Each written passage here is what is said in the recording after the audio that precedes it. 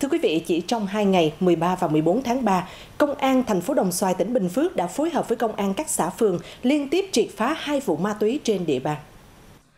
Vụ thứ nhất vào khoảng 18 giờ ngày 13 tháng 3, nhận tin báo của quần chúng nhân dân, tổ công tác gồm Công an thành phố Đồng Xoài phối hợp với Công an phường Tân Xuân tiến hành kiểm tra hành chính phòng trọ số 26, nhà trọ Toàn Thắng tại khu phố Tân Trà. Tại thời điểm kiểm tra phát hiện 4 thanh niên nam nữ sử dụng ma túy gồm Vũ Thị Trang, 24 tuổi là chủ phòng trọ, Lại Thị Vân Anh, 21 tuổi trú huyện Tuy Đức, tỉnh Đắk Nông, Lưu Văn Hạnh, 35 tuổi trú huyện Ihaleo tỉnh Đắk Lắk, Nguyễn Trung Hiếu, 30 tuổi trú huyện Đắk Lấp, tỉnh Đắk Nông.